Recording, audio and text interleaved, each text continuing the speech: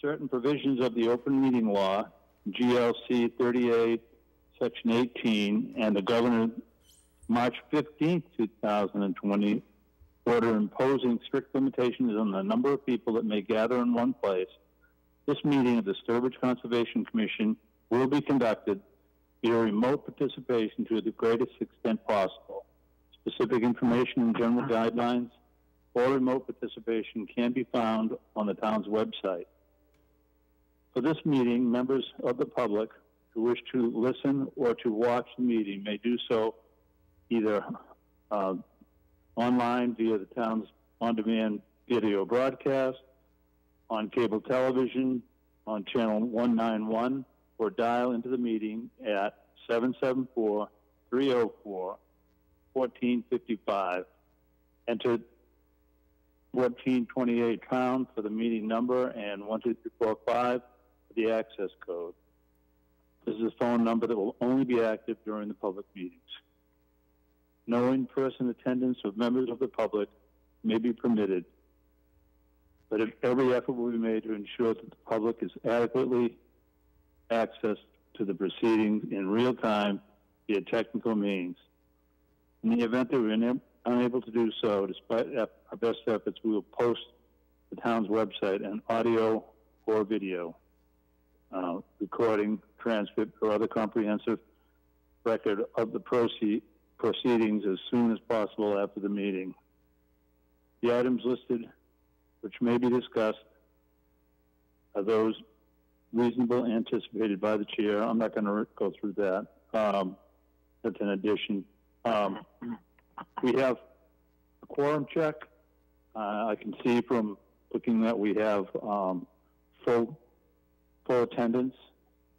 Um, so note that the um, as far as the open meeting for, for public hearings, the, op the opening statement for public hearings, in the interest of saving time, the Sturbridge Conservation Commission will hold all public hearings tonight for work within a wetland, water body, or resource area, or within 200 feet of um, 200 feet buffer zone to the wetland, water body, or resource area in accordance with the Mass Wetland Protection Act, MGL Chapter 131, Section 40, and associated regulations, and the town's bylaw um, and associated regulations. We will not be reading the newspaper ad prior to the opening of the first hearings for each project. The applicant is to submit proof of notification to abutters within 200 feet of the subject property line and proof of legal newspaper advertisement. If these items are not submitted, the public hearing will not open. Additionally, prior to the start of each public hearing, we will announce the location of the project, the applicant, and the applicant's representative. Um, and that is that. So we go to the meeting. Um, Becky, do you want to start off? We've got some time before the 6:15 session. So sure. Go ahead. Um, so we can go down the agenda after the public hearings and go to the wetland decisions. Uh, we do have a couple of requests for certificates of compliance on here. Okay. Uh, one is for yep, uh, one is for 116 Brookfield Road, DEP file number 300-729. Uh, the current requester is Gary Kalanick. Um, uh, they're requesting issuance of the certificate of compliance. Um, what they're asking for is a partial certificate. Let me get to my notes here. Uh, so the work covered under the order uh, was for the subdivision of one lot into two. On one of the properties, uh, there was an existing single-family house already on there. So that single-family house is now 116 Brookfield Road, which is the subject property of this request. The only work on this portion of the property, uh, 116 Brookfield Road, included the removal of a garage. Um, the lot is only partially located within the 200 foot buffer zone. The majority of the work for the new single family house, which is now lot 120, was within mostly within jurisdiction. Uh, and that's what the primary um, or the majority of the permit covered that work. Um, I did go out and do a site visit today Um, this property location, um, within the past year, had a fire at the property. It was, out, it was the Treetops Monte- Montessori School. Um, so the building is no longer there. The foundation's there, hardtop's still in place, um, as it was being used as a, a daycare center. Based off of the fact that the, the permit was primarily for the development of the, the new lot that was subdivided off of here, and the only work on this property within jurisdiction was the removal of that garage, um, which doesn't look like it was relocated. I don't have any concerns, and I'd recommend issuing a partial for it for 116 Brookfield Road. The remainder, of the work on the 120, um, someone would still have to request the release of the order off of that deed. Okay. Anybody, David, you want to start off? Any, I uh, have two daughters that worked at 116 Brookfield Road. I know that that building is no longer there, so a CFC is absolutely in order. all right. Anybody else like to speak on the matter? No. No? Seeing none, I don't have any comments. Becky? Um, all in favor? Start with you, Eric, no. Stephen? Stephen Chittister in favor of the partial uh, certificate of compliance. Eric? Eric Gaspar in favor. Steve Haldeman? Steve Halterman in favor. David? David Barnacle in favor. And Ed Goodwin in favor. Thank you. Uh, All right, next Beth. request for certificate of compliance is for 24 Cedar Lake Drive, uh, DEP file number 300-285. Um, so that's an old one here. Um, the the project summary was uh, the work was um, it was just for the expansion of a lawn on a developed non-conforming single-family house lot on Cedar Lake. Um, that was the only thing. There's kind of a sketch plan in there that I found that showed that work. I did do a site visit and go out there and take a look. Um, it appears to be consistent with that site plan, so I don't have any concerns concerns with that. I recommend um, issuing a complete certificate of compliance for that project. All right. Any input from the board? Seeing none, um, how do you vote, Eric? Uh, Eric Gaspar in favor to approve the uh, certificate of compliance. Stephen? Steve Haldeman? This is, uh, yeah. Sorry. Uh, Let me try that again. Uh, Steve? Uh, the old Steve, uh, I approve. Okay, the young Steve? Stephen Chittister uh, approved. David? David Barnacle approves. And Ed Goodwin approve. All right, Becky, we got two, got two for Main Street. All right. Yep, um, 501 Main Street. This is a draft orders of conditions. This is a project, um, well, it's DP file number 300-1084. This project was approved at the last meeting. I did draft um, orders of conditions for your review, um, looking for approval of that so we can issue that permit. Okay. So, do we have a motion to close the public hearing? Well, it's not, no, it's not a public hearing. No. It's not, it's not a public hearing. I thought we continued it. No, you guys closed that. Oh, did we close it? Closed it two weeks ago. Yeah, all right, so we closed it, so we, That was the parking so we, lot. we closed it without a file number? No, that had a file number. You're thinking of 53 um, Wells Park Road, the trail one. That one we continued. That did not have a file number. Okay, This all one right. had a file number. Yeah. All right, so, uh, we're just, just approving this with the order of Yep. conditions? Any questions? Yeah. yeah. All right. So Going around the board, um, Eric, Uh, no comments. They look good to me. David, No Yeah. comment. David Barnacle. Uh, Stephen I'm good. Stephen Chittister. and Steve. Uh, yeah, I'm good with it. I was uh, really impressed with that, uh, Becky. That was a very detailed order of conditions. Very impressive. Thank you. Thanks. All right, and I have no comment. So, put to a vote. Um, do I have a motion? Uh, Steve Haldeman, I move we approve the order of conditions for 501 Main Street. Uh, David, you again? David Barnacle. David seconds it. Um, all right, any discussion? All in favor? Eric, Eric Gaspar in favor? Steve Haldeman, Steve Haldeman in favor. Stephen Chittister and his friend. Stephen Chittister. Uh, I approve. Ed Goodwin, I approve. I think, did I get, did I get you, Eric? Yeah, Yeah. okay, all right. I'll approve. Oh, sorry, David. You know, I was confused. I knew there was somebody hiding there that I missed. You get distracted by his friend. I know. The tail. The fan of the tail. Yeah. A. Uh, The cute cat. all right, we are now to six twelve. Becky, what else have you got? Um, we can do approval of the minutes real quick if you'd like. All right, that's good.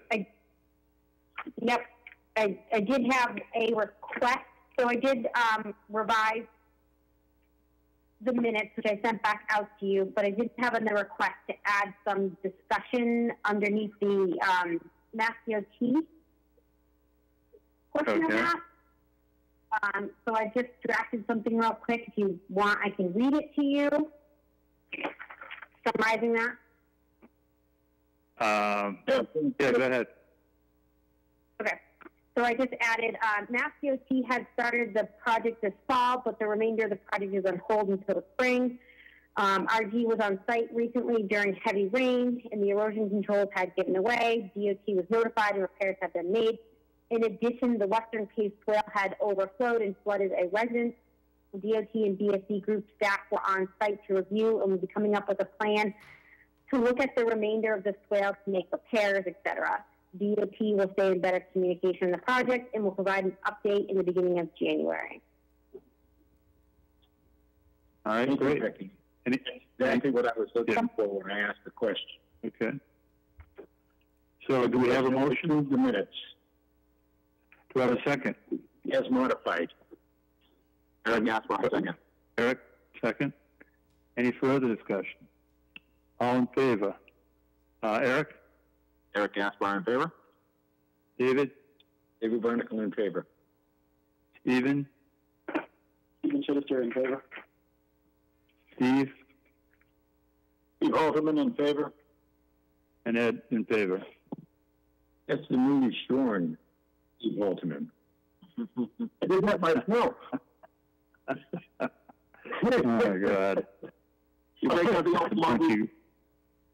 Looks like a mad Um, We are at six fourteen, Becky. All right, we're gonna go to the public hearing. Because of this new agenda. This new agenda looks beautiful, Becky. I like it. Good. Thank you. Well, thank, thank Aaron too. So Thank a you, while Aaron. back, Holly and I had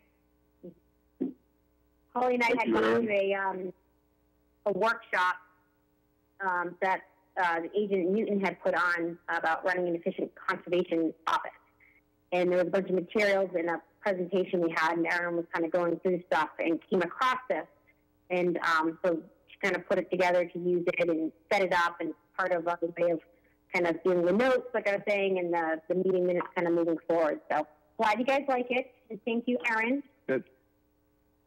Yeah. All right, with, with that said, we are at, um, six fifteen. So we'll go to, um, on a second here. Thirty Main Street and twenty Fiske Hill Road, notice of intent. uh, development of residential and commercial cul-de-sac um, subdivision, DEP file number 300-1086. Uh, owner applicant is Matt Sosick. Um, request to review the order of conditions. Representative is Peter Engel of McClure Engineering.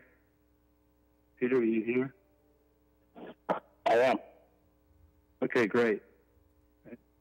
Um, Becky, you want to start off? Sure. Actually, well, Okay. Pete, do you want to, well, actually, Do you want you want Peter, to give the Peter to go applicant? first? Yeah, yeah, let them give their summary of the project for you. Sounds good.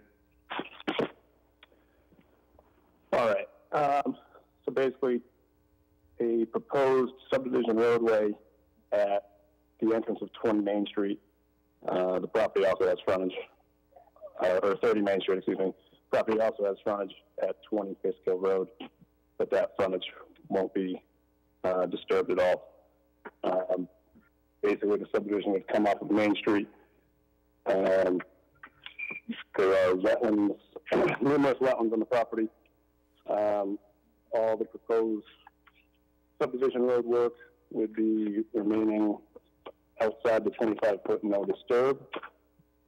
Um, the roadway itself outside of the 50 foot no build. Um, I believe the entire project is within buffer zone, uh, within the 200 foot buffer zone. Um, we do have one stormwater basin for the roadway located adjacent to Main Street um, and the new roadway intersection. Uh, that stormwater basin and the stormwater management is designed to meet all of the DEP stormwater regulations. Um, at this point in time, there's only five proposed lots. Uh, the roadway is proposed a little over a thousand feet long. Um, there's a zone change in that area, and the, main purpose of the subdivision is to create two lots within that residential zone um, for the purpose of a senior housing housing community.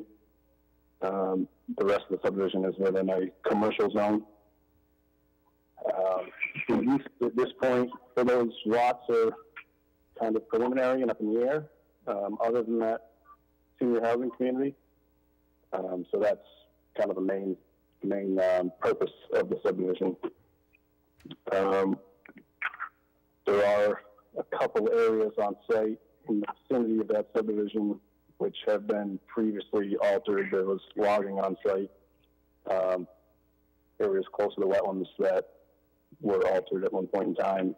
Uh, part of this proposal would be to um, kind of rehabilitate those areas um, and almost fix what was done before while creating this, this new roadway that would be outside of any of those 50 foot no build lines.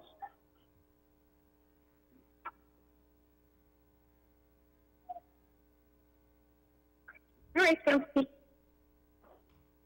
so, uh, jurisdiction for this project, um, it's a buffer zone only, uh, for impact. There's no direct resource area impact.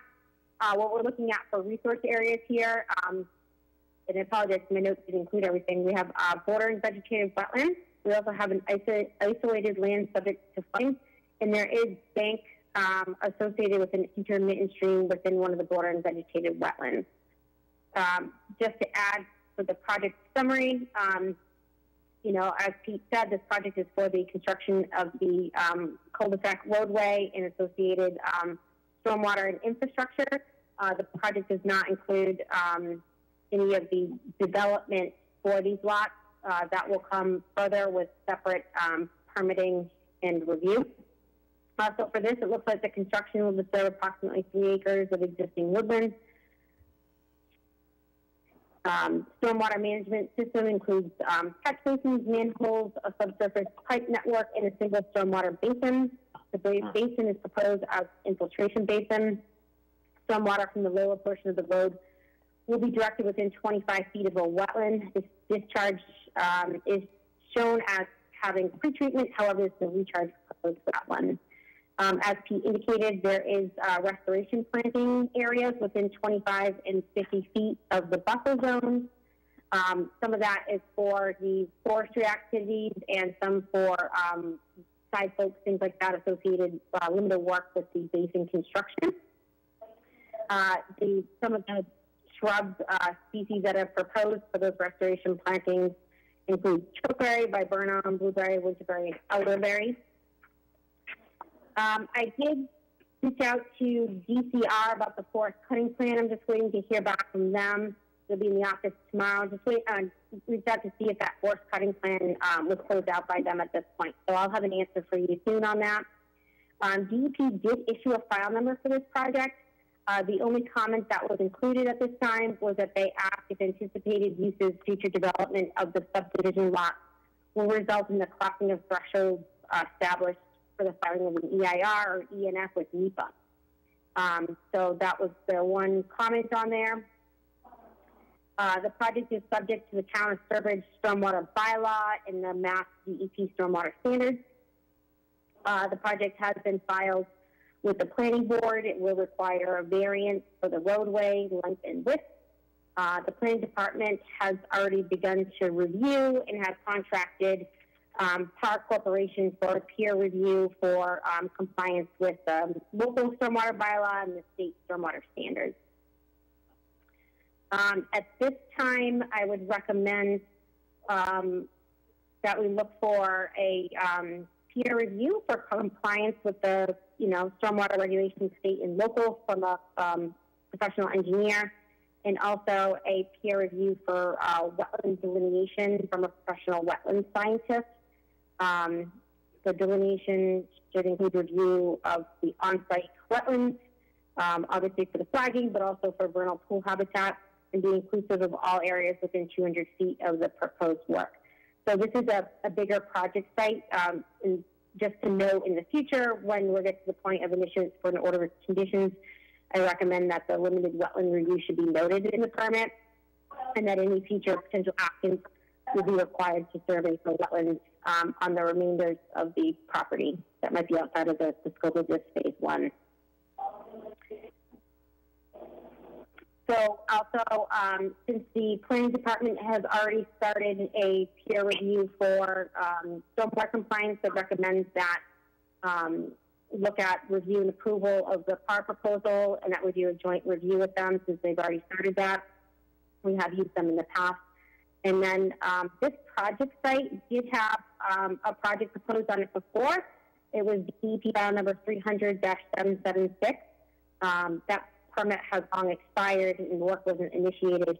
Um, at that time, a peer, um, um, Allen did work for the commission on that site. Um, due to the age of that, I'd recommend having everything looked at again, especially with the forest cutting plan that was done out there. But um, I'd recommend the board considering um, a quote from a quote from EcoTec as they they're familiar with the site and have been on there before. That's all. Okay. Going through um, board members first. Uh, Eric.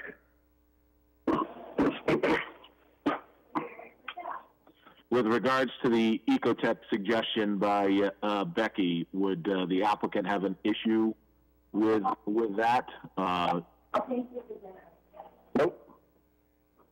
all right, that's all I had. Mr. Barnacle? Um, I have a couple of questions. Um, the first one is, you indicated that the roadway would be um, outside of the 25 foot, probably within the 50 foot.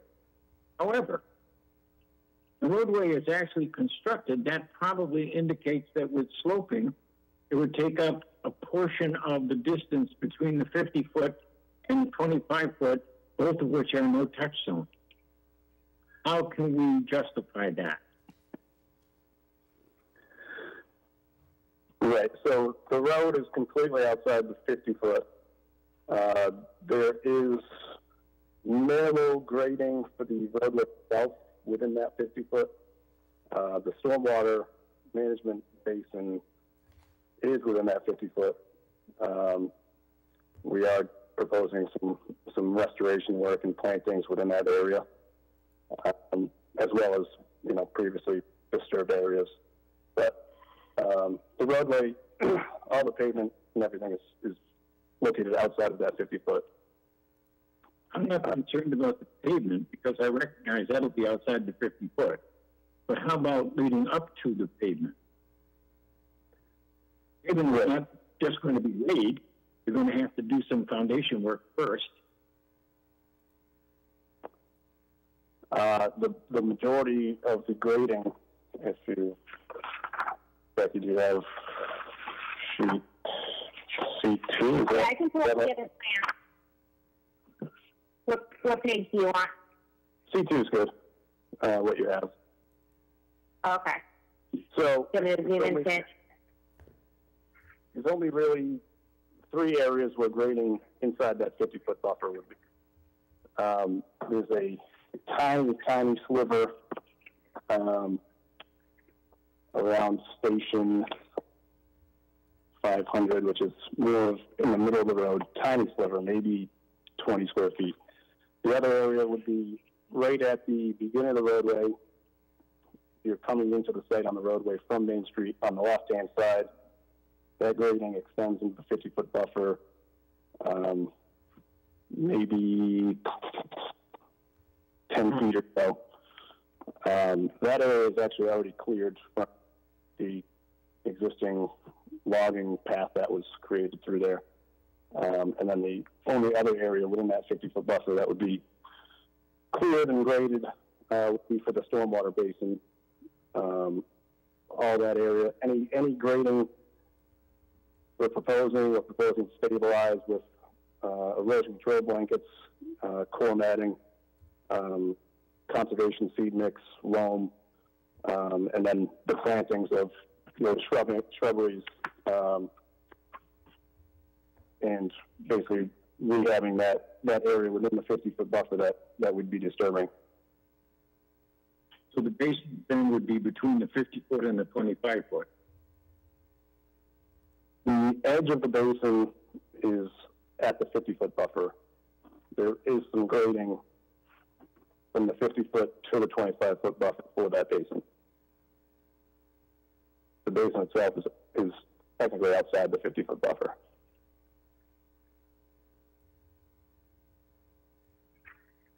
Mr. Chairman. All right, um, Stephen? Kudos? Yeah, so, um, in just trying to understand how you're proposing to eventually develop this project, it, it looks to me like you've got some very steep grades at the end of the cul-de-sac, um, and to the of the, of the roadway coming in. So is the intention, um, that you will just be developing lots along the, the west side of the road and perhaps one at the end um, on the east side of the road? Right, so we have technically five lots. Um, there would be one on the right side just beyond the basin, which is a very small and likely not a, likely not a, it's a, it technically considered a buildable lot by zoning standards, but um, kind of a tough lot to develop. Uh, lot two goes in the back of that B series wetland. Um, there's a lot of property behind that wetland. Um, the access drive would come from the subdivision roadway, basically hugging the property line and the zone line um, within the 100 foot buffer of that wetland into that upland area. Uh, similar with lot three, um, a roadway would have to, or a driveway would have to come off the roadway, hug the property line and the zone line to get up into that um, large property. Um, lot five, like you said, is is pretty flat and level with the road. Um, and then lot four is at the end of the cul-de-sac. Again, that's another residential lot. um, what the future use is. It could be a single family home, it could be an assisted living facility. Um, that's kind of up in the air. But obviously, there'd be some grading necessary for that driveway as that property continues to go uphill. Yeah, I'm, looking at the grade on that. It just seems like that would be difficult to take a access road off of the cul-de-sac. So, um, all right, I guess that's it for me. Yeah, the grading shown here is strictly what's necessary for this subdivision road and nothing further at this time. All right, Steve, Steve Haldeman? Yeah, uh, there's, uh, some of these lots, uh, that you're, uh, that are on this property or on this plan, uh, are those really gonna just be a single-family home up there, or there's room to uh, expand and have multiple houses, uh, another cul-de-sac uh, up there? Uh, I, I see that as a as a possibility. The other thing that I'm concerned about is that part of this is commercial, and uh, and there's a lot of wetlands uh, in the, in those areas. I guess I'll cut to the chase. I hate to see phased projects with a lot of wetlands, and you're putting in a road, and uh, is this going to be a, a, self-imposed hardship down the road when you come in and uh, down the road? Sorry, in the future, where you say, "Hey, we've already built the road. You approved it. Now we want to build such and such, and yeah, we're going to have to fill in some wetlands and so on." Uh, I, am concerned. We've got the classic phased approach with a lot of space. We've got commercial. We've got wetlands, and we've got some uh, fairly large properties with wetlands in them that we have no idea what's going to be developed in those in the future. I'm, I'm surprised that DEP did not make a comment about, well, they sort of did when they talked about passing thresholds, but uh, they don't like phased uh, uh, projects either. Right. Um, to speak to that, I mean, it's phased in that this roadway has to be created in order to create frontage, in order to have these multiple lots, in order to have a residential zoned lot. Um, like I said, the main purpose of the road is to create basically lot lot three, which would be a, a senior housing community. Um, the other four lots are kind of up in the air of what they could be or would be. Um, the main the main purpose is for a 55 plus senior housing community on lot three, which is over 40 acres of land. Um, we can't submit plans on that senior housing community until there's a legal lot for that property to be developed on. Um, so unfortunately, it is somewhat phased, but legally it has to be phased. The, the, the town planning department would not take a site plan for a project that wouldn't legally be allowed. Um, to touch on the MEPA thing, as far as I know, um, you know, we're not going to touch any of those thresholds. Um, they're, you know, the, the ENF thresholds themselves are pretty high. We did a traffic study on uh, five preliminary uses, including that uh, senior housing community development. Um, the traffic study, the total parking, the sewage flow, the water, the land disturbance, none of it touches any of those MEPA thresholds. Now, does that mean it, it never will? I mean, there's possibilities for these lots that you know, could be somewhere not where we're looking or what the current owner is looking at right now. But um, I can't really speak to that. At this point in time, the the potential uses would not meet those MEPA thresholds. And like I said, the, the main purpose is to create that lot three in the back for a senior housing development. Well, I was on the planning board for I don't know, seven years or so, and we've from time to time had people come in and say, look, this is just an informational thing. And I just, here's a, we, we don't have the road, we don't have legal lots, but we're going to try this in the future. But in the meantime, we're thinking about such and such on this if this becomes a lot. I mean, a, parcel or a lot, whatever, a legal lot. Right now, it's not, and this is not official. This is just a uh, heads up, friendly, unofficial visit about your opinion, your thoughts on what we might do in the future. So, Yep. There you go. We, we had multiple, multiple meetings with Gene Bubon on that very thing. Um, that's the reason that's, this is moving forward and not, you know, getting canceled, so. we might indicate though, Dean, and during They the- but, um, probably not be able to do anything about them right now. So, uh, those are my thoughts, uh, Mr. Chairman. Um, who, is anybody else to speak besides me? After you're done, I'd like to say a couple of words, Ed, please. Okay, yeah. Um, my my questions are pretty simple. Why did we just get this change today? What was the change? Um, and, you know, and, you know, So, the package says that it was uh, completed on eleven eleven in twenty. Now we're in we're at uh, one five twenty one, which is when you when you gave us an update. right. So, um, in meeting with Gene, um, it was, we originally were proposing the stormwater basin to be on an easement. Uh, the town subdivision regulations do not allow for that, so it had to be on its own lot. Um, because of that, originally lot one and the stormwater basin were basically mirrored.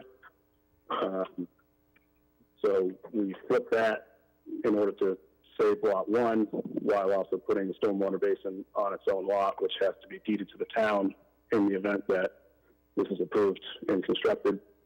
Um, you know, I, I, I know you have a meeting today and you probably didn't have the time to review that, which was assumed that, you know, a peer review would be getting voted on, um, and we weren't going to be proceeding with a, with a vote tonight regardless.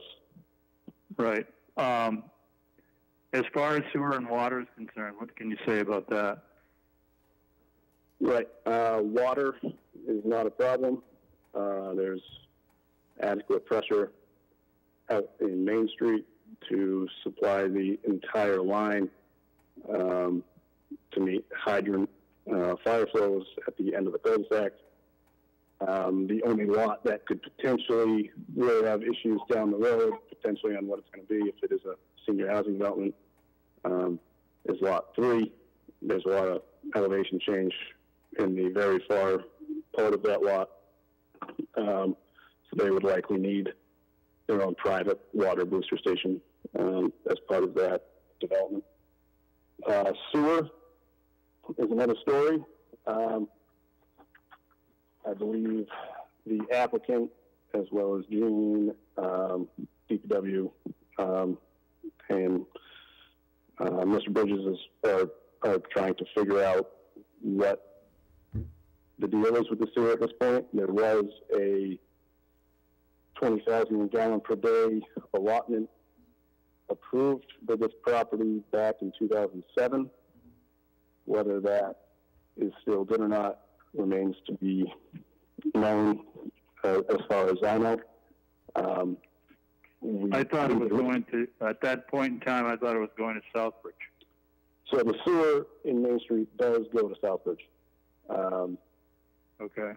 All right. No. So then it would be the same. Okay. Right. Um, the issue is that the town is somewhat is close to their sewage limit with the town of Southbridge.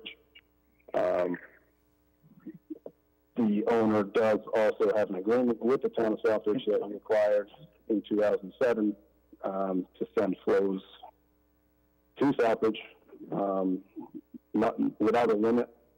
I'm not sure how that plays into everything. Um, and I do know, you know, obviously it wouldn't be any time in the near future that the town is is hoping to get a pump station at some point in time down here to basically capture all this flow going to Southbridge and get it back to the Sturbridge treatment plant since there's capacity for that now when there wasn't back when that Southbridge agreement was put in place. All right, um, Needless to say, there's, there's still some work to do on the sewer as far as uh, yeah, um, this goes. Becky, I guess we're, we're at six forty. This was supposed to go to six twenty-five. Um, we were given a Uh, short, there's- there's- short, short amount of time on, there's some work to do on the reviewing the plan. I have two more short ones for you, Mr. Chairman. Go ahead. First short one is, can you explain why, if you indicate that lot one will be very difficult for you guys to be able to work, why you're going to continue working it? Um, my answer to that would be that the current property owner wants the possibility of selling a lot. Okay? Uh, number two is just a reminder for everybody, if you go down Hall Road, starting off of Route 20, on the left-hand side, there is a road that goes up to a cul-de-sac, up a hill. Originally, that was going to be for a nursing home over in the woods and homes along the side of the cul-de-sac. It was built, nothing else was. It's still sitting there. And this has got to be 15 years now. I believe, Mr. Halterman, you might have even been on the commission or on the planning board when that took place. I was. So we don't need to have X number of cul-de-sacs that are simply cul-de-sacs for the sake of having cul-de-sacs. So we need to be careful. Um, was there any other comments? I mean, Yeah, I have, I have a real, oh, I have a real quick comment, if I may. Uh, in 2007, they were going to run a pipe to the west to the uh, Southbridge treatment plant, not using the main on uh, on Main Street. And uh, and I can remember that was a concern of the board of selectmen because now they've got uh, a piece of property in uh, Sturbridge that is using uh, Southbridge's uh, uh, uh, wastewater allotment and what would happen if they there was a problem with Southbridge. So they had their own connection. Uh, and and it's odd that you're going to run uh, the water is for that uh, senior citizen thing, but yet uh, it, it doesn't uh, satisfy the needs for that. So it's just kind of odd that you're going to have to put a, a well in anyway. Just a thought. Con- Um, not a concern, just odd. well, I would- I would like to, at this point, continue this meeting. Uh, Becky, if you could work on um, the issues we have as far as getting um, prior review um, set up, what that's going to cost, what we're looking at, and the meeting, we can, as members, we can take further look at this. Maybe we can do a site visit, uh, depending on the weather, and um, look at some flags, see what we're what we're actually looking at um, between now and the next meeting.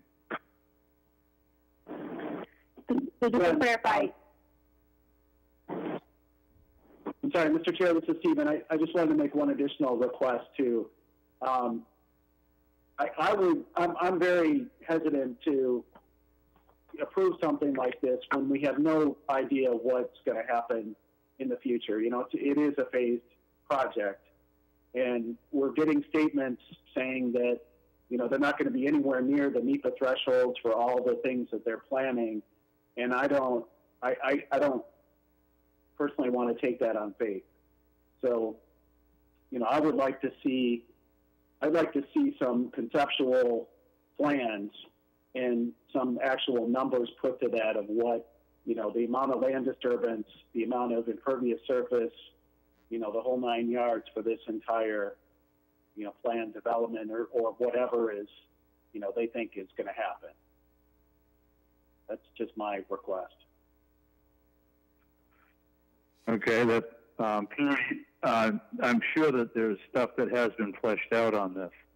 It could be brought to us. Am I wrong?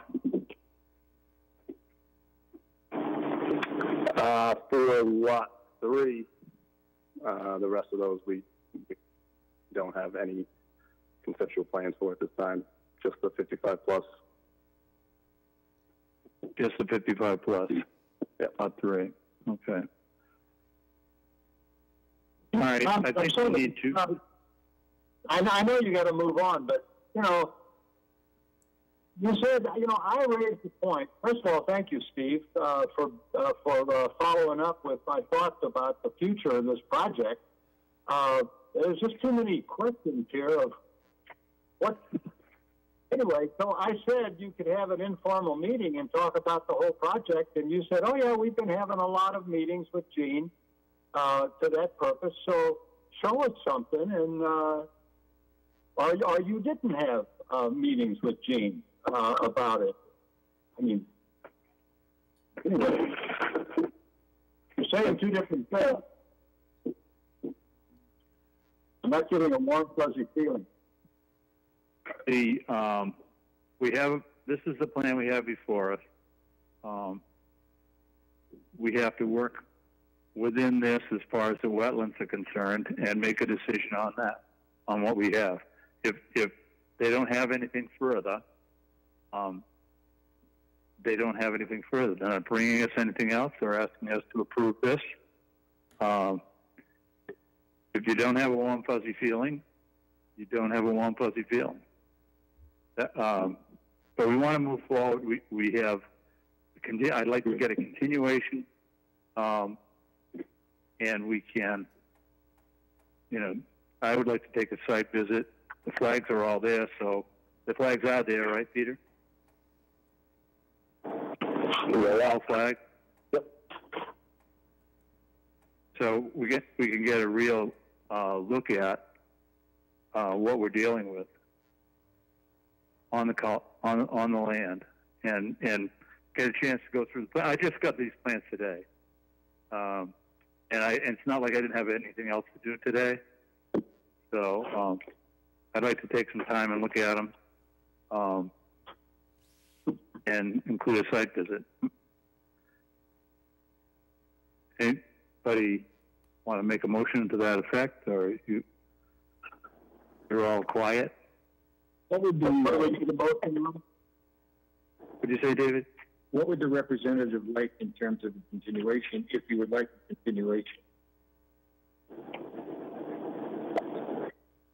Peter, Um, you want to answer that? Sure. Uh, I mean, we, we'd be happy with the continuation of the next hearing, um, expecting, you know, a site walk and a peer review for wetlands. Um, we know planning board is doing a peer review for stormwater, so, um, you know, we'd be happy to continue in order to meet all these requirements. Week sufficient, Steve?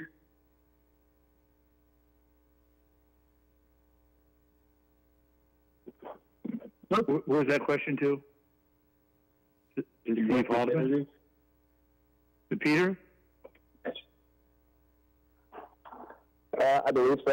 If, if we don't have anything back by then, then we can continue to the next meeting. And I'm in favor of a continuation for two weeks. Uh, sorry to interrupt, Ed, just before you, you move forward, um, two things. One, um, this is a public hearing, so we can post the comment. And then All right. second, um, Right. I could just you. like request that, yes, that you clarify what you're, um, requiring here. I, I recommended, I mean, obviously, under, you know, our regulations, we need to look at the stormwater. Um, the planning had already started a peer review. I recommend, you know, that we do a peer review, a joint peer review with them. And then also, you know, vote for the um, peer review from the professional wetland scientists, as I outlined earlier. Uh, with like the recommendation of um, getting the proposal from EcoTec because they have been on the site and done that before. Okay, so, you- but we want to get the information together, right? You're not going to hire, you're not going to hire them. Correct. I would get that information and bring, bring it back to you. Bring it, ba- bring it back. Okay. Yeah. And that would satisfy David's, Um, we should have an agreement, um, that we want to use EcoTec again. Make sure that the applicant is okay with that.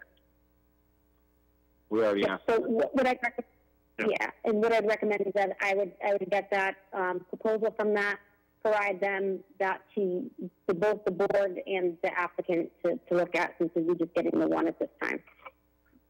right. And we would have to vote on it at the next meeting, David. So when it, whenever it was available. And the continuation, uh, Steve, do I have a motion to continue?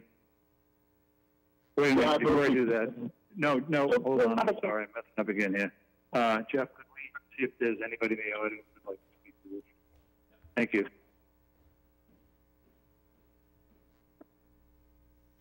While just checking on that, we, so we actually, we have quite a few, uh, actions that have to take place before we actually are ready to, uh, approve or disapprove of this road. And, and, and I agree with you, Ed, the, uh, what is before us is the road.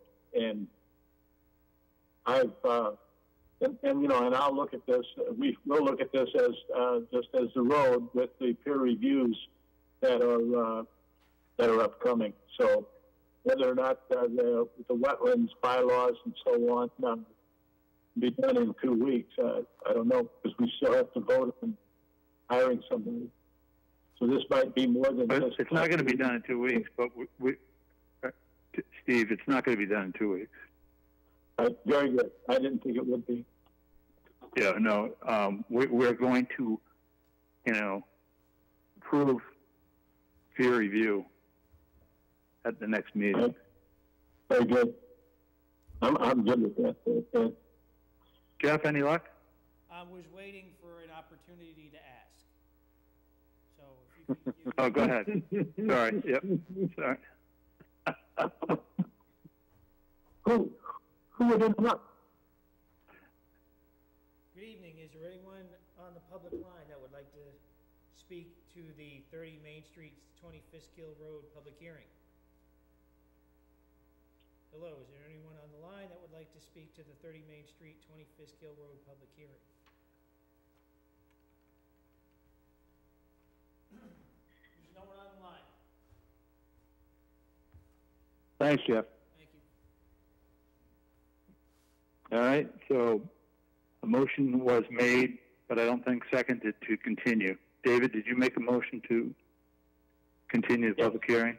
I did. And Eric, did I hear you say seconded? I, I absolutely did. Eric Aspar second. Okay, okay. Um, all those in favor? Well, before Steve? that, before that, you have ahead. comments. Discussion? Yep, go ahead. One article of discussion is in reference to Mr. Halterman's comments a couple of minutes ago. Remember that for the last 25 or 30 years of the Conservation Commission, we have been uh, moderately opposed to phased projects. And each time that we hear about a phased project, goosebumps rise. I hope that that is not being left behind as a, a principle of the Conservation Commission.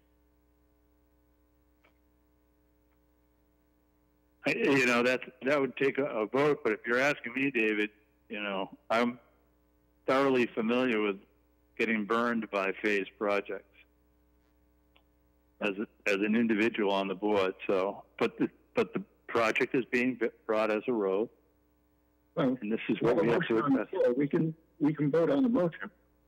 It Yeah. was just a comment Okay. relative to, No, that's fine. It's within any other comments before we vote?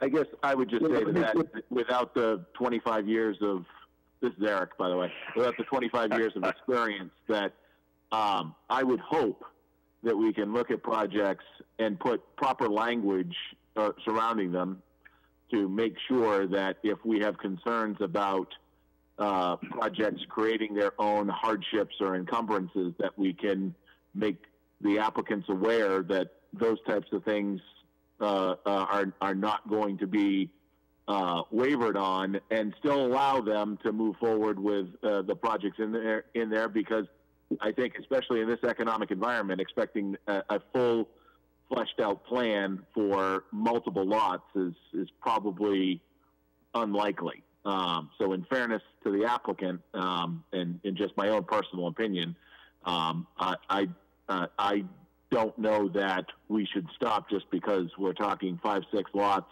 and we only have one lot that is conceptually designed at this point. So that's my only comment, and I'll I'll, I'll yield. Any other Chairman. before we vote? Yeah, uh, as a uh, deputy director of the Department of Environmental Protection, I had the liberty to tell applicants with phase projects that uh, they go back to the drawing board and bring me a whole project. So it can be done. Like I say, I was wondering why the EP, the DEP was uh, not making a comment about that. But enough said, you know, we beat that horse to death. Anybody else? All right, Yeah, mm, um, Becky. in favor of a continuation. Did somebody say something? Becky has something. Becky. Yeah, I- Becky? So I just, um, if you want to discuss and vote on, um, the Pare Corporation proposal that, um, Planning Department has solicited, um, so we can do that joint peer review with them, that was provided, to take a look at, so just get that moving forward too. Becky, this, Becky, this plan was dropped off today. Um, and, and I'm and I'm at 6:56 now with people waiting. Um, I think that can be continued. Right, I mean, we have had this application, the plan set, they did make a revision to the, the lot line, which, right, we got late last week and, and we got the hard copy of it today. So I mean, that's, that's fine if that's what you, you want to do. Yeah, I'd like to just continue this because we were supposed to be done by the 6:25. All in favor of a continuation? David, David Barnacle in favor. Eric, Eric Aspar in favor. Steve Haldeman, Steve Alderman, I'm in favor. Stephen Chittister, Stephen Chittister in favor. And Ed Goodwin in favor. Thanks, Steve. Thank you. See you in two weeks. Yep, so continuation, right, is, is January nineteenth, and that would be at six oh five, or six ten, six fifteen, sorry. My time's messed up here. All right, we're now at 625. We have 53 Wells Park Road, continued notice of intent, trail improvement project, DEP file number 300-1085. So, uh, this is a continuation from our last meeting. Yep, Tom is Yep. on here. Uh, I'll just give a quick summary. Uh, this was a continuation from the last meeting. Uh, we did go over the project. Just as a reminder, at that time, we were waiting on a DEP file number and comments, which we had not received. Uh, we did receive those, uh, since that last meeting. File number is three hundred ten eighty-five. DEP did not have any comments on the project. Uh, what was discussed last time was um, a couple of uh, things for the project. The commission had requested that the Bog Bridge decking be elevated to seven and a half inches versus the six, and that no motorized vehicle signs were posted along the trail. Um, since that time, I did um, draft the uh, orders of conditions and provided to you the, provided those to you for uh, review prior to this meeting. So, I did include those two special conditions, so, uh, the project would have our, our typical, um, special conditions, and then the following two conditions for the bog bridge and the no motorized vehicle signs. Um, my recommendation at this time, um, after if the applicant has anything else to add, would be to vote to close the hearing and issue, um, the orders of conditions as drafted. great. I'll start with you, Tom. Do you have any, uh, anything additional to add? Uh, no, we have uh, no problems with your your uh, requirements. Has this gone before the, um, to vote before the, uh, federation or whatever you call yourselves? No, the association will have a meeting in May, And so, uh, um, I'm just trying to get together quotes and, uh, and your approval for the project before, before May, so something to vote on. Okay. Right. Chairman, I'd like to make a motion that we approve file number eight hundred dash ten. We need to close the public hearing first. Close the public hearing, yeah. So, Other comment too. Go ahead, Dave. Comment. Yeah, um, Jeff, You ready? You ready for it? yeah, we're ready. Okay. Yep.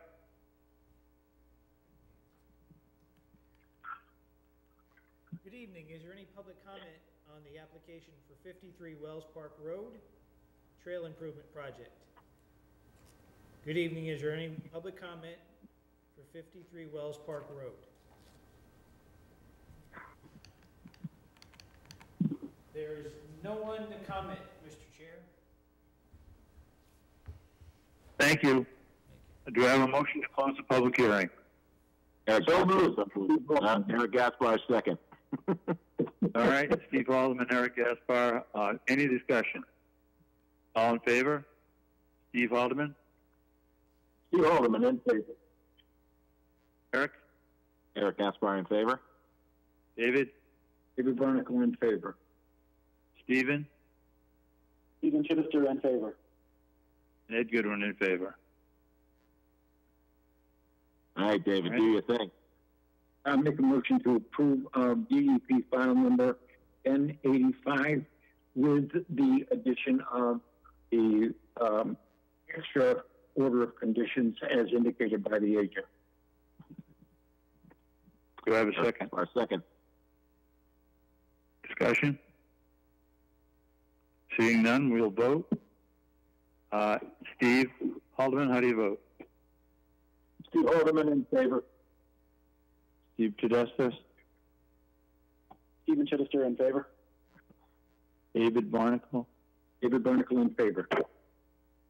Eric, Eric Gaspar in favor? and Ed Goodwin in favor. All right.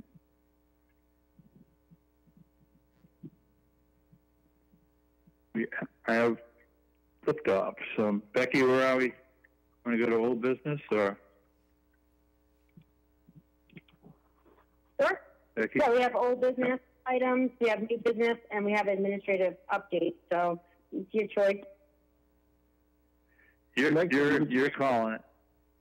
The new schedule. Yeah, let's do the new schedule before it gets closed out. All right. All right. So I'm going to share my screen. I gave you this um, in advance to look at. So at the last meeting, last couple of meetings, we've been talking about this year's schedule. Um, we gave you some options at the last meeting um, to look at. One of the things that was brought up was looking at um, Wednesdays and maybe doing an every three week schedule on Wednesdays. Well, we looked at that, and unfortunately, because of other boards meeting, it just wouldn't work out where we could alternate doing that every three weeks and not fall a couple days or so on days that were their meetings. So we kind of scratched that idea and what we presented to you for now. Um, there's just no other days right now that a every three week schedule would work, and kind of seems like some people were more interested in staying within every two week schedule for now. So what we presented here is looking at um, just staying with our current um, every two week first and third Tuesday of the month, um, and also looking at an every two week schedule on Wednesday. Now, the only reason I looked at an every two week Wednesday schedule was because there's four dates here that um, the Board of Selectmen rescheduled their meetings to that um, we would need to reschedule to. I guess my recommendation at this time is I'd rather just stay with the Tuesday schedules we have versus going to another day unless it was to a three week schedule. Um, if you look at this, um, we gave you some possible options for rescheduling days um, for those meetings that we have to reschedule or cancel. Now, for if you look at the first yellow one, which is Tuesday, February 16th, Uh, we can't move it to the following day, which is a Wednesday, because ZBA meets. We'd have to do it on that Thursday, um, or cancel it. We could reschedule to July 7th. Um, looking at this, this this does not account for your summer schedule. So this this this shows two meetings in July, August, and September. Obviously, there's two that are crossed out here because of needing to reschedule. So you can either reschedule them or um, look to canceling them. So I don't know if anyone has any comments um, or any other suggestions. So Becky, just to be clear, the, ones that you have highlighted and crossed out, we can't meet on those dates? Is that Correct. There's a uh, Board of Selectmen meet on the Monday before us, and there's holidays, so they rescheduled their meeting to Tuesday already. And because we're doing these virtually and they need to broadcast and the software, um, you just can't really do both at the same time. So we're getting big, big timed by the Board of Selectmen. I don't, I don't think we stand for this. I, I think we go out, taking our day. No, they can move to Wednesdays. They could skip a meeting. What do they do that? Oh, my God. Um, the, the, the only thing that I no- noted on there was I, I, you know, I don't know that, I know that there was some discussion about having meetings, uh, uh, twice during the summer as well, which, you know, I don't, I don't know whether or not logically that makes sense or doesn't make sense, but, uh, we've, we've now gone from a scenario where we were talking about every three weeks and cutting that down to 18 meetings, and I have 24 meetings in front of us when we would normally have 21 plus site visits associated with that. Uh, so uh, we've uh, in this schedule increased our uh, our meeting obligations by uh, six meetings net net, including site visits. So I would not be in favor of this schedule as laid out, just just because I, I don't see that that there's a need for us to increase the number of meetings. Do you mean just going back to like the summer schedule and taking out those extra meetings? Yeah, whether it's the summer or it's strategically, there's other parts of the year where we feel like it's, you know, unnecessary. Uh, unnecessary, but it is, you know, it, it's not just one meeting. It's one meeting and a day of site visits, so it ends up being two meetings for every one we add. So in this in this situation, we have added six weeks of obli- or six days of obligation. Well, what she's actually put here is the schedule that we've been working with, which is the Tuesdays, the two Tuesdays a month. Well, without the without the summer break, is my point. Right. Yeah. Yeah. Um, now, as far as going forward, the, the, the reason this is tight is because we um, because Jeff is in, in short supply. I mean, I don't know how long this COVID is going to continue. I mean, that's a consideration too. Um, by the, are we going to be back in public meetings by July? I don't think Probably. anyone has That's answer to that. Mr. Yep. No, I would say, and if you don't mind me jumping in here, I would say, go ahead. turn my camera back on. At the very least, come July, you'll be, it'll be possible for hybrid, where you can, those that want to be in a room or vaccinate, vaccinated or feel comfortable can be in the room. Limited, um, public can be in the room, but you'll probably still have somewhat of a technical or remote component for people to be able to call in, listen in, or whatever. So I would hope by the end of May, a lot of that is resolved, particularly since we've got town meeting that we're supposed to have come first of June. Um, So I would hope by the time we roll around to June, July, we can get back together, hopefully earlier, depending upon the vaccine rollout and how comfortable people feel getting back in a room. Thank you. Mhm. Why don't we just go, um, why don't we go with the Tuesday schedule? as it, as it is, um, and with the Thursday, with and when we get to the to the second of February, we'll make a decision on the uh, on the next meeting whether we're going to have one on Thursday the 18th or no meeting, and do it that way. And then we get to April 6th, we do the same thing.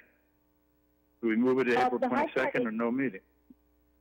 Well, for the February, I mean, we have to, we put out our meeting dates and filing deadlines because there's the legal ad, there's the butter notifications, they have filing Mhm. deadlines with us. So if we're gonna have, people are asking what our meeting schedule will be. Um, I think we would need to know if we're having a second meeting in February now because people will be starting to, um, prepare filings potentially for that meeting and submitting them. So if we, you know, decide on February 2nd to cancel the 18th, one, you might not be able to because people have already filed for that. Or two, we might have someone the next day file if that's still within our deadline. I don't know if it's offhand if it is or not, but it might not be. So I think we'd have to decide. I guess maybe, you know, maybe by the end of May, we might know what's happening with the meetings. You know, maybe we, we set the schedule to through May at this point, and that gives us a, a bit of time to work with with those unknowns on how meetings might change in the future. Um, but having having our meeting dates and everything available for people helps in advance, helps them with their planning purposes, especially as they might be getting ready to submit something in the next month or so. Um, so the more dates I think that we can provide them right now, it's, it's more helpful for them and us. Well, then I, I, I can go back and say, all right, forget forget this February 16th, forget April 20th, and forget September 7th. Give them all those other dates. Right? Tuesday. Yeah, you don't have to.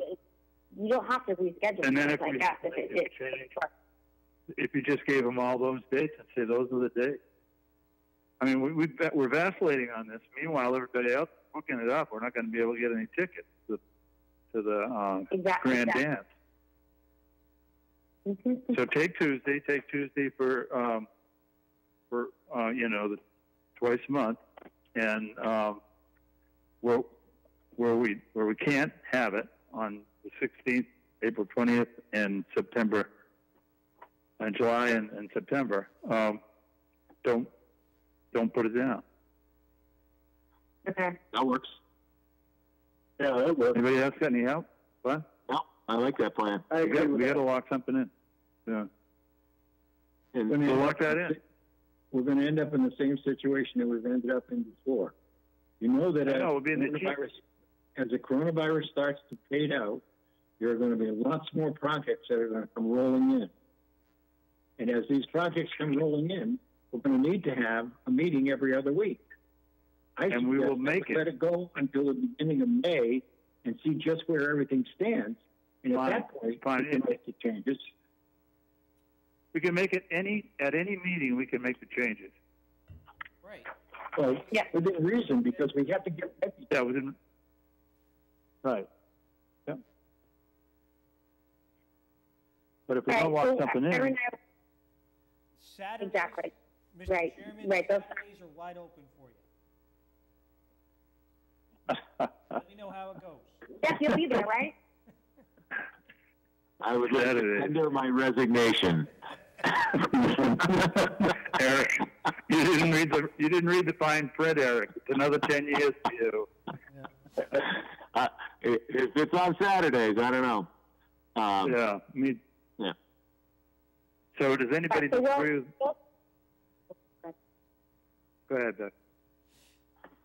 Oh no, I was, I was just going to say, well, we can set that up, and then just one other thing is that we're going to start tracking, um, you know, because of the idea of the two to or meeting every three week schedule. we're- We're going to start tracking like, okay, this, you know, four projects didn't have DEP file numbers in time for every two meetings, or things that come up, or and you know, would they, when did it come in? Would they have had it in time? Just so we can later on look at that and maybe Mhm. revisit looking at the every two to every three week schedule and see if every three weeks is better for those purposes, not just a DEP file number, but also you need to get requests for proposals, and two weeks doesn't give much time to get that Well, back if if you bring us it. any, if you bring us anything that has three weeks with it, Becky, you're going to have to bring us a calendar that we can we can come to. So I mean, Oh yeah, and, and this thing, look at it for the future, you know. So, so I mean, like Tuesday, July fourth. I mean, July sixth. Um, I don't want a meeting anyway. Fourth of July is right there. yeah, so we weren't saying you had to. We just said these are possible rescheduled dates if Right. you wanted to. I know. Yeah. Yeah, that's fine. All right, we'll take care of that. That does bring up a good with point. it. What, what, would stop us from not scheduling a public hearing for something until a DEP file is issued? I mean, I, I know we do it as, as a courtesy, but it, it, that is something that does create some gridlock for us. And if, if the anticipation, uh, and if we do look at our meeting flows with these continuances clogging things up, why don't we just make it a requirement before uh, before we'll give you a meeting date that we need a DEP file number? Is that unreasonable or no? First of all, because of the 21-day requirement for being able to have a public hearing. Second of all, there is nothing wrong with going through the entire process without the uh, ID number. And if we agree with the project, we pass the project, we tell the person they don't even have to come back. When we get the DEP file number, we'll take a vote on it and we'll pass it. Okay. I, I would also add, in my experience, we very, very often get the DEP file number the day of the hearing. So it's, yeah. Okay. I was just All right. asking the question. So, in summary, we Becky, you have uh, that schedule, the Tuesday schedule, um, without without the um, the conflicts is our schedule. Sounds good to me. Vicki, you notice All that right. nobody from the Trails Committee commented relative to the dates that you put down for their meetings, and I think it was absolutely correct. But thank you for at least giving them a fair, fair amount of advertising. Uh, well, they yeah, they already have their dates on there, so that we saw those dates on the schedule. So Becky, what's next? all right, what do we got? So moving on, did you want to do administrative updates? Any committee updates? Sure. Um, CPA is meeting next Monday, the 11th. If there's not a, um, if the selectmen aren't meeting that day, so otherwise we'll be out to lunch. Go ahead. Anybody else? I don't. there- There's nothing else to report. David. Uh, Trails Committee is meeting a week from now. They had their last meeting in December, but as a result of, of weather, et cetera, and Tom's operation, um, things slowed down quite a bit. Okay. Um, so that's it, Becky. There's your committee updates. Lovely. All right, new business. Um, I had down here CPA funds for uh, fiscal year, should say 2022. Um, I added this, um, and I received an email from the chair of CPC asking if there was any um, request that conservation could be putting forward for the annual town meeting for the next fiscal year. Um, if we were to have something, it would need to be added to the January or February meeting agenda in order to be considered on that. At this time, I, I mean, I don't have anything planned, um, working on to, well, prepared to present for them. I mean, there's a lot of ideas I have for the properties, um, but I wanted to bring it to your attention and see if there's anything the commission has for ideas, um, whether, regardless of for the annual town meeting, but also that, I mean, I think that's important, you know, we start thinking about the conservation properties um, some more and maybe some some good projects kind of moving forward on there. I mean, as you know, we've had some let's interpretive interpretive signs down at um, Lead Mine. We recently had a Boy Scout project, and these things are kind of separate things, but um, who did invasive species project on Lead Mine with an interpretive sign. Um, you know, I'm still working on the outbuilding project, um, project, and I was going to give you my agent update on that, but I guess as we're talking about it now, um, that's um, been put out for requests for bids, um, and that's going to be a pretty involved project, um, overseeing that kind of this and hopefully when it gets started. Uh, last year, we also asked for funds. Uh, we had that delineation uh, bounds marking done out on the long property. But I think it's good, you know, we've had a lot of permitting this past year, and that's kind of the primary focus. But I mean, we do have our conservation properties, and um, there's probably some good management opportunities out there, and also um, educational projects that we could think about and maybe get some funding for, kind of moving forward. You know, something else to think about that's not just permitting, that's kind of, you know, for the community and for the properties, fun projects to think about. So I just wanted to kind of put the thought in your head as you know, thinking about those type of type of things um, that we can look at doing in the future. Okay.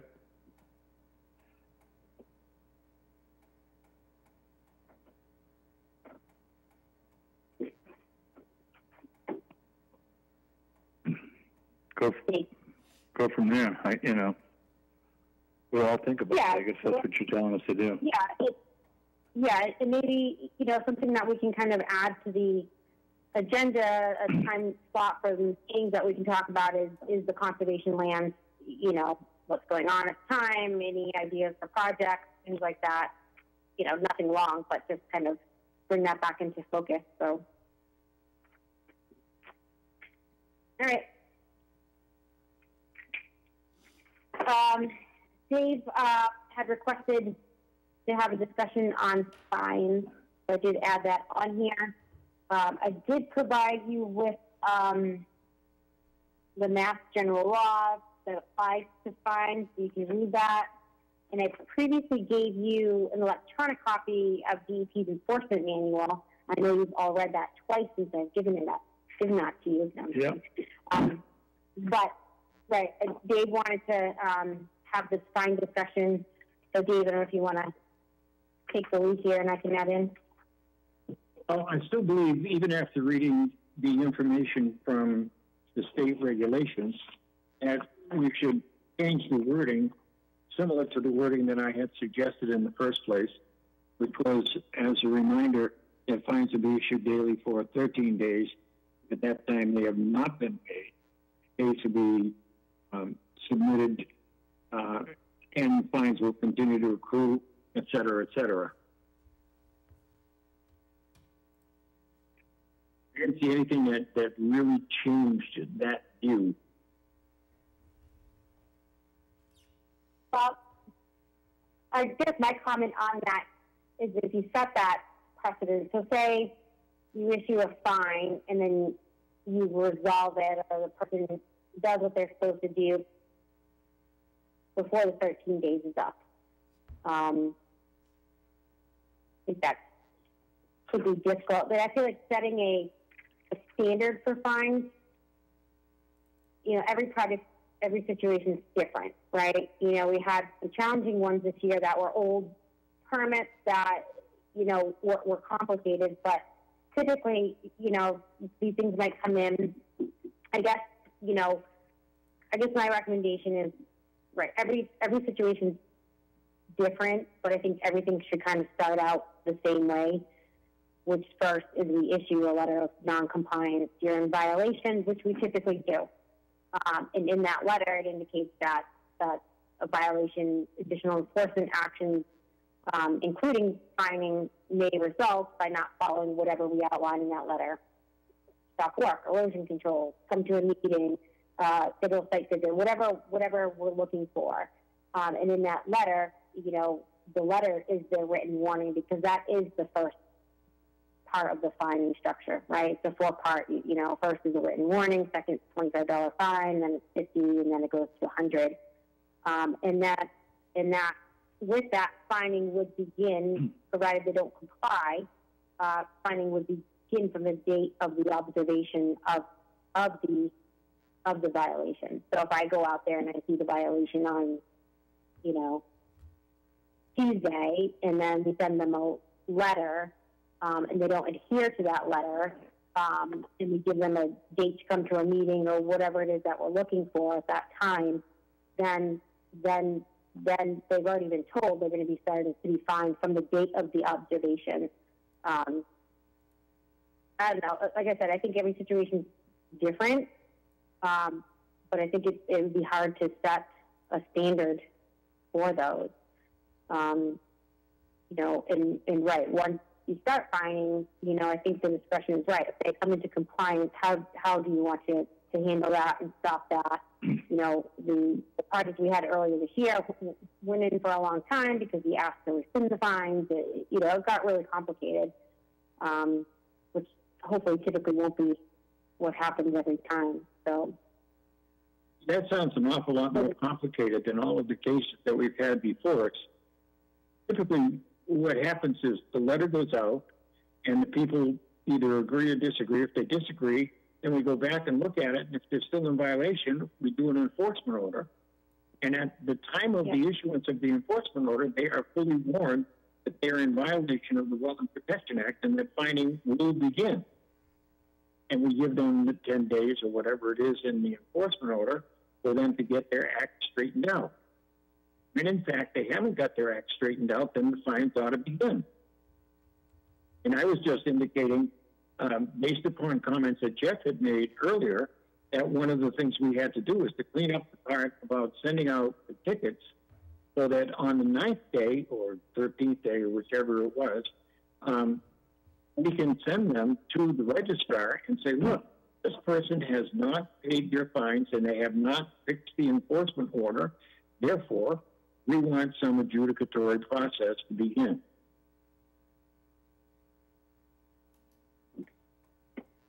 Yeah. So for the the fines, um, we're required to issue them the fine within 15 days of said violation.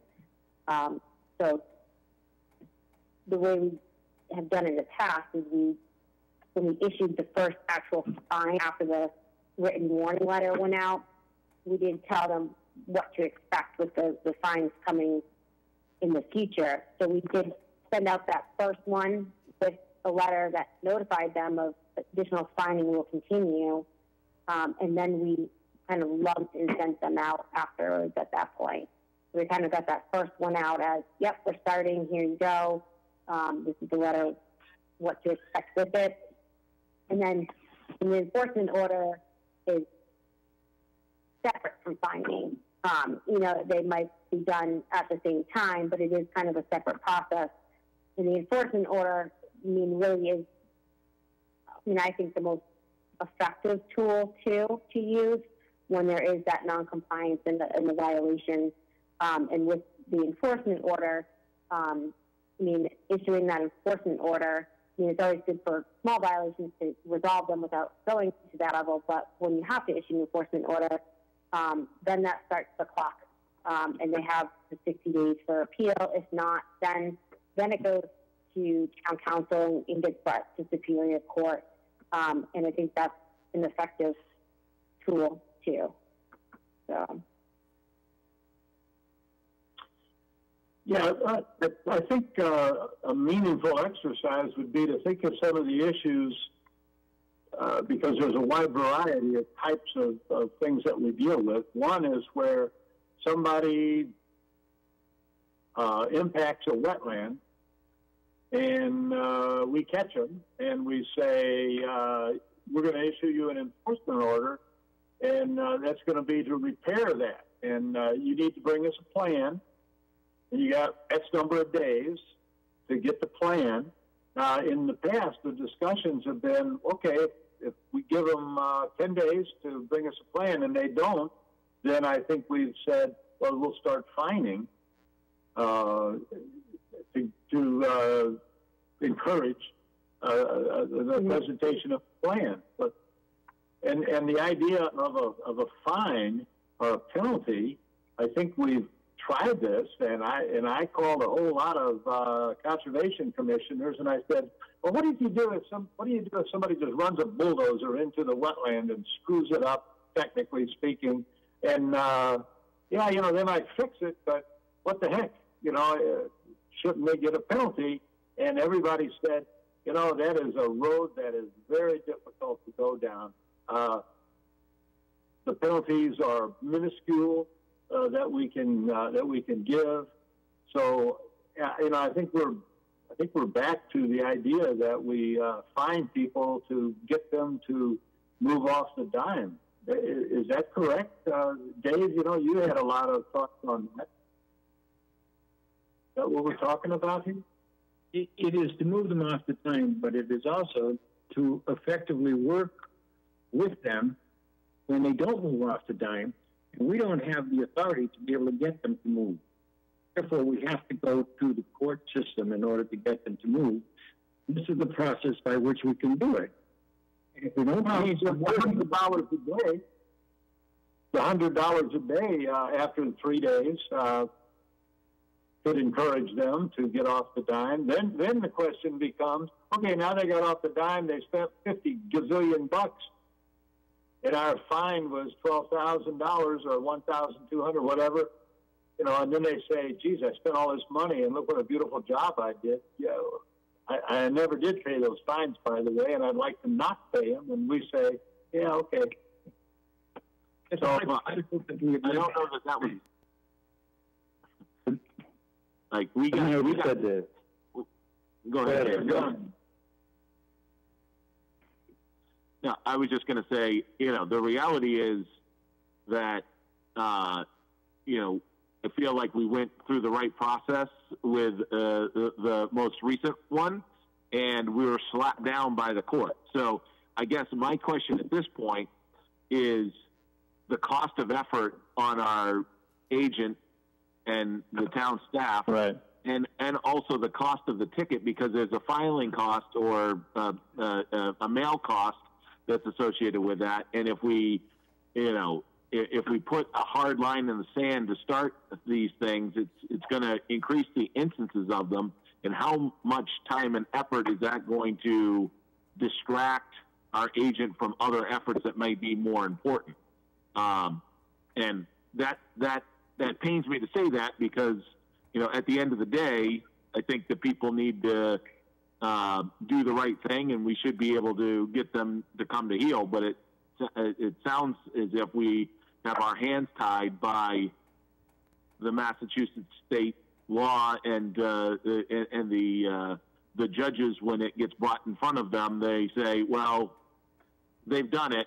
We'll just waive the fines, and that you know, I, I guess Well, that's the goal at the end of the day. But there's no penalty phase here, um, and uh, I guess that's what I was looking for all, all along the deterrence factor, and I don't know that we necessarily have that.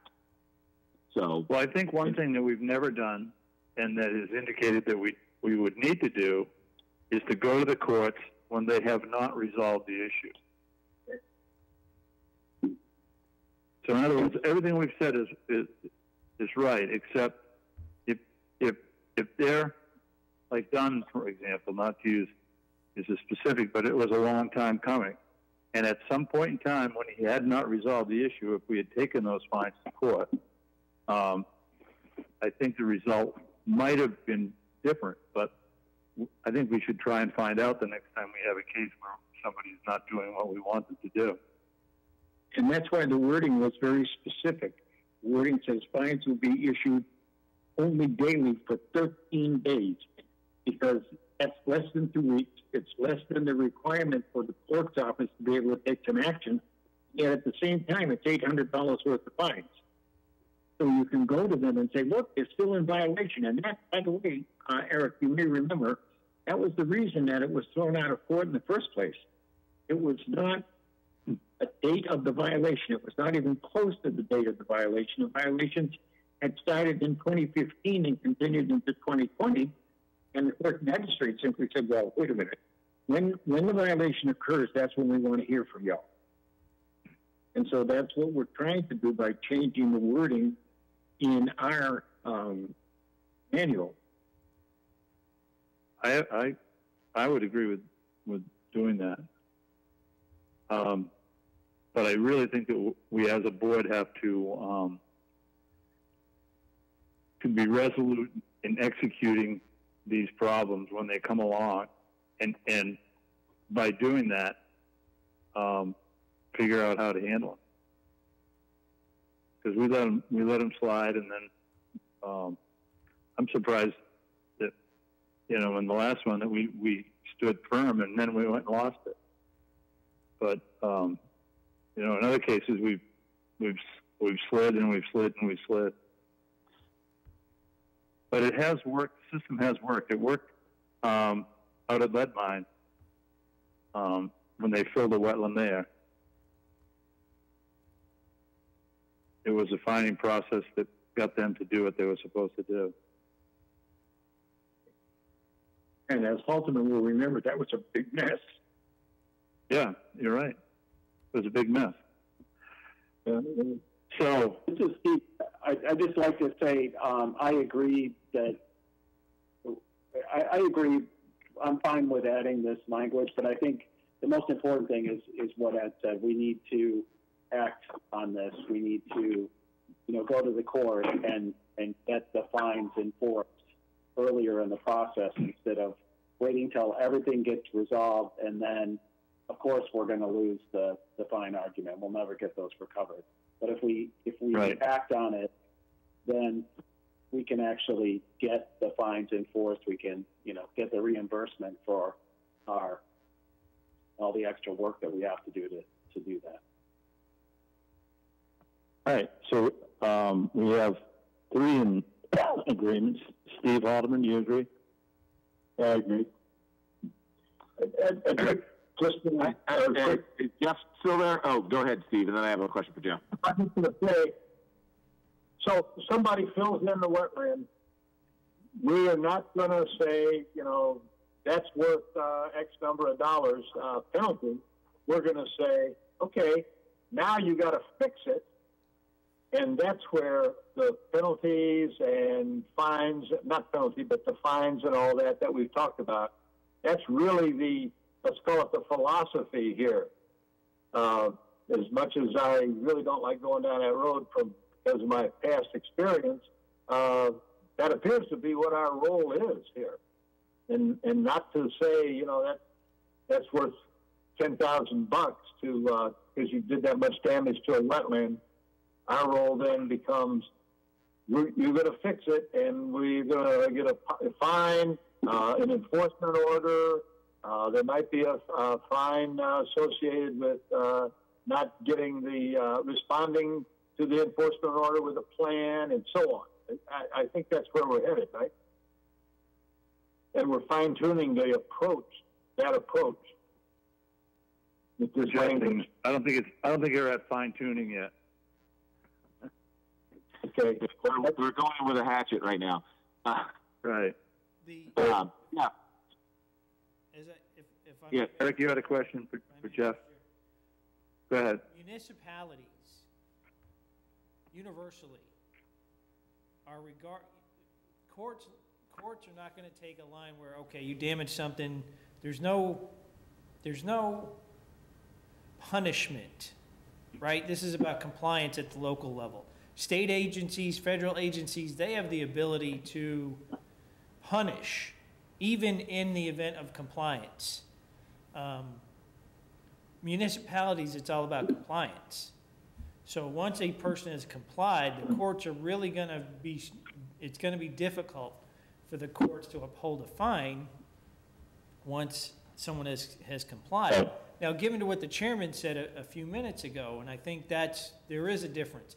If you begin finding somebody and said, this is your drop dead date for compliance, or, or whatever action you're putting on that date, and they refuse to adhere to that, then going to court, you have, that's a different story in front of a judge. You've, you've made, you've provided notice, you've given them what they need to do, you've levied a fine, an effort to push them into the direction of compliance, but they have refused to comply. Judge, we'd like to have this fine levied. That's a different story. So I think the more you can regiment a process and be very specific and clear with the applicant or whoever is the subject of the enforcement action on timeframes and expectations, and, you know, and if right? You gotta de- define the if.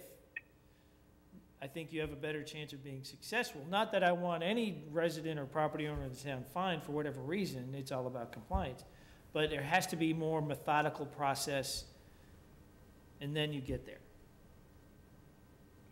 Yeah, I think, I think you're agreeing with where we, where we, where we ended up. Right, right. So the question I had, Jeff, was, Yep, yeah, you know, from a cost, from a cost benefit analysis, I hate to make it about the dollars and cents, but, you know, we, we bring, we bring in the town's attorney and we have to, to go and, and litigate this for whatever purpose.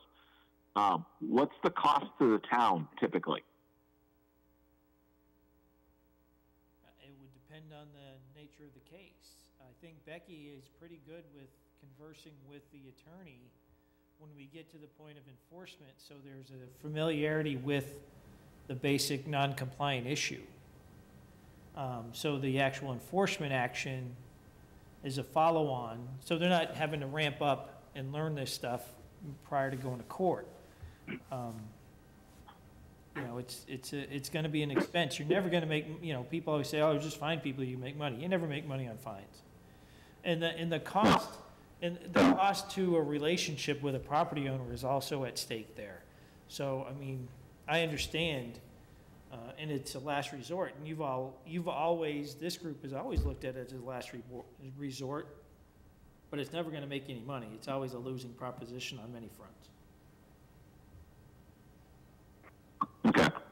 So I, would, I, guess, uh, all of that said, I would, I would feel most comfortable if uh, we had a uh, before we make any uh, voting action on this whatsoever, and I'm just one member, but uh, to have, as Jeff said, a clearly defined process laid out by Becky to us, reviewed by Adam or Jeff, and then brought to us that we that that we feel like you know it's it's not just well uh, this seems like it would be the right thing. This is more we've had uh, uh, becky's called some other agents. Adams reviewed it jeff's reviewed it and then we think that we have an ironclad process that we can then start to use on a going forward basis. Um, not that You mean, you mean Alex? alex sorry. Yeah yeah alex not adam sorry. Okay. but you know, have Alex re- review it and then bring it in front of us so that we can vote on it because Jeff is saying we need to adhere to a process, we need to be deliberate, we need to be thorough, and Right. you know, um, not that not that David hasn't put a tremendous amount of thought in that, but uh, it has. I don't know that Alex uh, has has even looked at that or reviewed that, and, and is that sufficient for what our needs are. So that's Okay. that's my two. And all of this is very well spelled out in the state statutes for any type of enforcement action, whether it be blight or whether it be wetlands violations or all these other things, partic, you know, specifically because municipalities can't be trusted. And that's just the way the state looks at towns, all over the country, not just in Massachusetts. It's a very paternalistic look at your local government partner uh, from the state level. Thank you, Mother. Well, I Thank you. subcommittee with Becky in order to get the wording to Alex or whomever Okay. else it needs to go to. Right, thanks, Dave. All right, well, let's leave it there then. Anybody? Any problem with that? Good. Becky, what's next? Uh, just two remaining things. One correspondence, uh, provided you with a copy of a monitoring report. This is for DEP file number 300-1007, One Hair Road. This was the, uh, former Blue Wave, now Ameresco Solar Project. Um, I added this on here just for you to be able to look at. Um, I mean, there's no action required at this time. Um, just wanted to let you know that they are at the end of the project. We've received all their monitoring, um, and they are getting ready to submit a request for a certificate of compliance for this project. Um, so I did speak to about that. And, huh? Did you look at the date? In theory, they sent this, this piece of paper out in March of last year. No, this is December 4th. Did I give you the wrong one?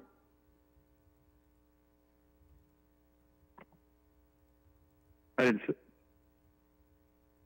We'll have to double check that, but Oh, yes, I'm sorry. No, I probably think you're- I think the you're wrong right. one. Yeah, I did. I gave you the wrong one. So the one I have in front of me, this, this, that's one of them. It is December 4th. Sorry about that. I just uploaded the wrong one from the file. Um, this is December 4th, 2020, so this was a more recent report. Um, right, like I said, there's no action needed on this. They're going to submit a request for certificate of compliance. I did ask them, I said I'd, I'd, I'd like to see that wait to the spring for leaf out because there was a lot of restoration planting required out there just to make sure that um, everything is alive out there. That was, that was gonna be my question to you, is, is how does that, how does that line of restoration they put in look? Right. Well, they're saying it looks good, good based off the report here, um, but I think I'd like to see it out there. And there were certain um, specific numbers of plantings that were required too, so I'd like them to look at are all those Okay. plants there, you know, give more information too. So we'll wait for the spring on that. But All right, great. don't normally things like this on the agenda for you.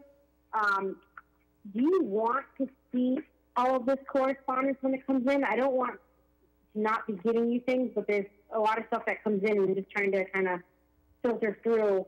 You know, do you want every monitoring report, or do you want me just to look at them, or you know, is there, something that seems more of a concern to add it on or not? Well, if there are action, uh, monitoring points, if there's an action that needs to be taken, or if we need to put them on a site visit, or if, um, if you're updating us on, on how the site looks, then I'd want to see it, you know.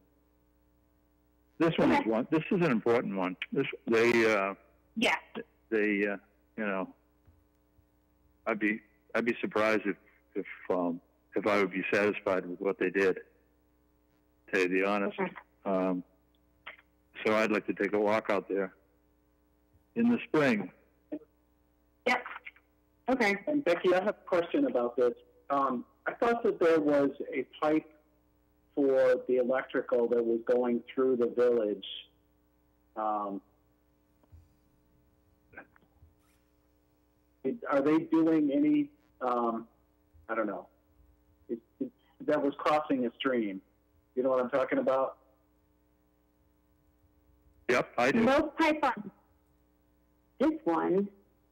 You, you're talking well, about the village. They, they ran they ran an electrical pipe underground, and it was it had to do a stream crossing in the village. Um, right there. I'm trying to remember where in the village. This is a different solar. We're talking about Blu-ray. Oh, okay. I'm sorry. Go ahead though with your question. No, I just wanted to to know um, how that got resolved and if we're monitoring anything associated with that. Yeah, I'm sorry. I thought I thought that was this project. Yeah, we're not. It's a good question though, Becky. How's that? How's that working out with the village? Uh, I'm not familiar with that project. I think that was permitting prior to my being here. I know that there's um, one of the order of conditions over there did get closed out for the solar field right when I Right. started. I mean, I can look it up and pull it out, but I believe, yeah, I think when I first started, they had submitted a request and that project was closed out. I mean, I don't remember the details, but I can pull that out. It was also outside of the 200 foot buffer zone for the most part. No, I think no, he's talking about the pipe. Yeah. He's crossing. Yeah, I'm talking about the electrical service that comes out of Yeah. Yeah. Anyway. Yeah, there was a very conduit, and it went um, the, under that bridge, I recall, um, Right. by yeah, the uh, by the shoe shop. Right. Exactly. And went out into the parking lot. All right, uh, Becky. What else? Anything? Uh, no, this agent report, I mean, just a couple things. Um, you know, we're looking at kind of, we're looking at some things here in the office and doing things for this year. Um, one of the things that I'll be bringing to you soon is we need to have a discussion about our local fees. Um, if you remember the town's doing that codification project and all the regulations and the bylaws are all going to be put together. And one of the recommendations was to take the fee amount out of the regulations so we didn't have to go through a reg change every time we want to change fees. Um, so I would like to, and I will be working on coming to you with um, looking at our current fee schedule um, and what we're requiring for those uh, moving forward. Um, we will have to, at some point, um, not soon, but before the annual town meeting, um, we will be getting that codification project review back to relook at, and we'll have to hold a public hearing in order to approve those kind of, those are more like administrative changes, I guess, that's the fees coming out. Um, but I aim to have, you know, something to look at the fees and have a discussion at that point in time. Uh, Okay. I also this year want to look at the administrative approval process that we set up um, and look at some other type of minor projects um, and present some options and think about um, what type of small other projects that potentially could go through an administrative approval process. So like I said, I'll be working on that and, you know, we can take a look at some options in the future. Uh, one other thing, you know, thinking about compliance and concerns, and especially when these are older permits that kind of, you know, started four agents ago that come in and they become, you know, enforcement issues. Um, thinking about projects that have restorations, wetland restorations, um, things like that, you know, we do have within the bylaw and the regulations the ability to ask for a bond for projects. Um, that may be a good way to ensure that, you know, a project does get wrapped up and finished and constructed correctly in the time frame, which could avo- avoid these kind of enforcement issues we're seeing down the road. Um, so something that, you know, we can talk about this year and, and how that could be a way of assisting with keeping the project on track and compliance issues too. Uh, just, Okay. yeah, just a couple of small things. Um, just to let you know, um, those revisions over at Pilot that were for that um, fire hydrant line, those were completed. I did receive a report on that. Um, the new project that we recently permitted over in Cedar Lake, uh, there's a new house, a house addition, a garage. Those have recently started within the past month or so. Uh, 53 Karen Road, that was the fuel spill on Cedar Lake. I have been talking to um, the representative that filed the notice of intent for that. Uh, that was one we looked at in July that you put on hold for a year because they're still doing some monitoring. We were recently conversing about that. Um, they're still doing the monitoring. Um, their next reporting will be in May, and um, they're hoping that they're going to meet the right DEP thresholds, that there wouldn't be further work required. So uh, we continued it to July. Um, so for that next meeting, we should have a better understanding of if anything will be required and what that's needed and, work towards issuing that permit, uh, whether it's just an after the fact type of permit or if it ends up being, you know, after the fact, including um, some additional work they need to do. So that's, that's about it. There's one item that needs to be put back on the agenda, though, in my opinion. It is under old business. Somehow enforcement orders got dropped off again. We can't lose sight of enforcement orders. Uh, We discovered this year some enforcement orders that were ten years old. Need to be able to clean that file out. Okay. Fix them. All right. Good. How often should we re- be reviewing them, David? What would your suggestion be? Quarterly? I think that the, um, the agent should give us an indication as to which ones need to be attacked. So she can prioritize them for us, I think, Eric. Okay. Okay. And we did get rid of quite a few of them this year, so that I think that was a pretty big accomplishment and had some good outcomes there. Yeah. So Yeah. That's why I It's want to getting put it back on, because I thought it Right, and I- was late this yeah. Year. I agree. Okay. Eva, Do I have a motion to adjourn? Yeah. Mr. Chair, I make a motion to adjourn. Do I have a second? Eric Gaspar, second. Here you go, Eric. All in favor? Aye. Aye. Aye. Happy New Year, everyone. Thank you. Yeah, Happy New Year. Thanks, Jeff. Take care. Thanks, Becky. Take care. You're welcome.